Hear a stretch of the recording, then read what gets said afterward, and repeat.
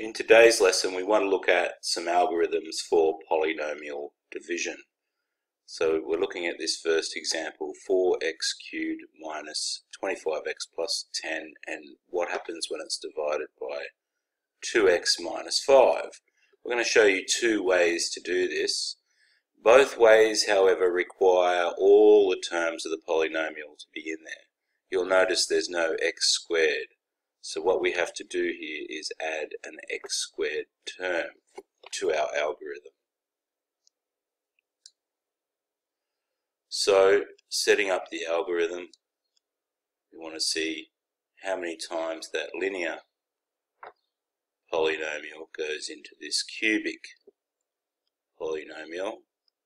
We have no x squared term, so we put 0x squared and the rest of the terms are in order of descending power of the variable. Now how it works is like this.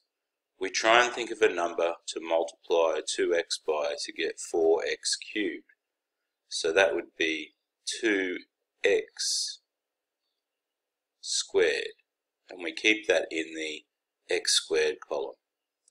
Then we multiply this through the divisor. 2x squared times 2x gives us 4x cubed. 2x squared times negative 5 gives us negative 10x squared. And like long division, we do the subtraction to see what the remainder is. Of course, we chose that so the cubes disappear. Got to be careful with signs here. 0x squared minus minus 10x squared. A minus and a minus is re replaced with a plus, so we have 10x squared. And then we bring the next term down. Okay, so now we do it again, same process.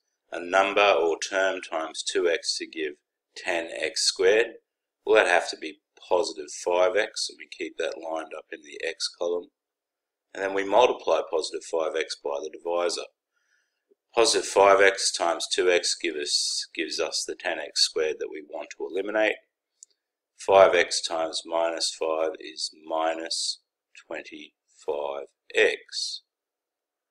So we do the subtraction.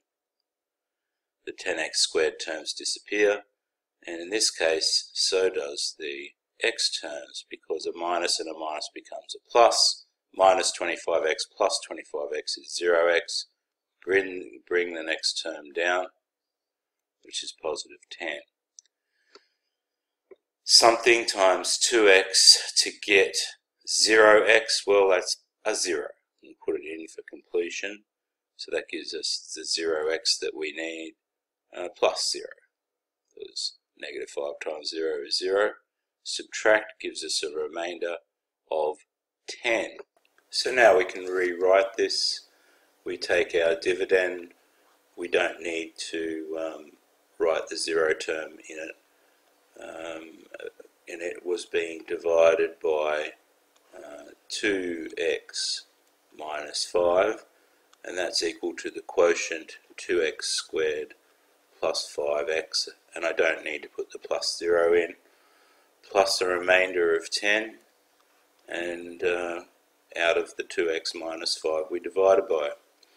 We can rewrite this in another way by multiplying everything uh, by the divisor. So we just multiply all uh, by 2x uh, minus 5 to give us another form of our answer. So we have the dividend is equal to minus 25x plus 10 gives us the um, quotient.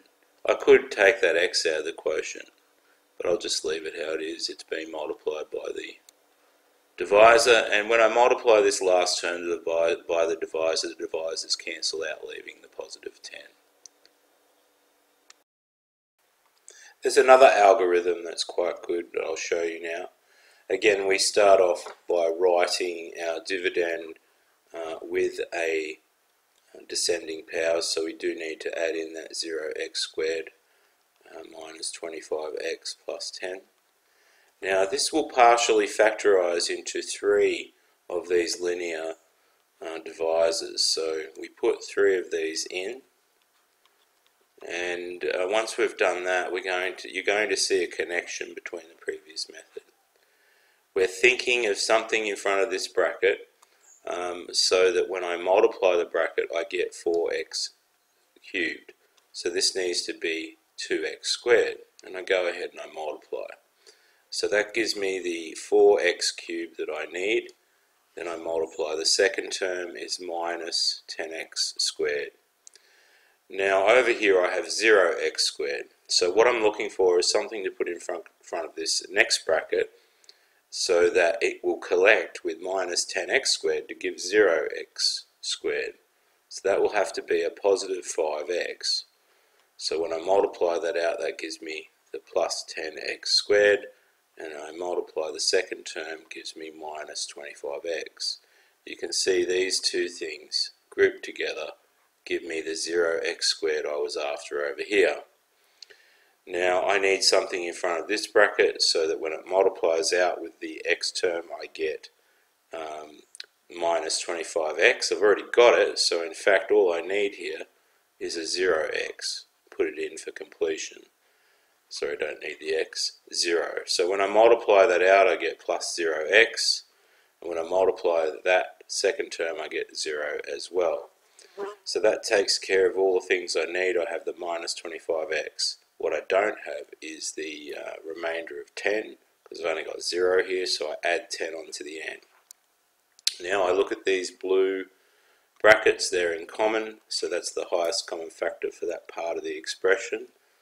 So I can rewrite uh, this side, I don't need that 0x squared anymore, uh, so I just write the dividend, I have the highest common factor as the divisor.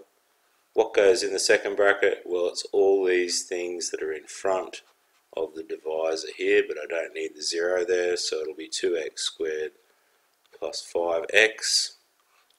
And don't forget the plus 10 on the end. You can see that's the same form as before.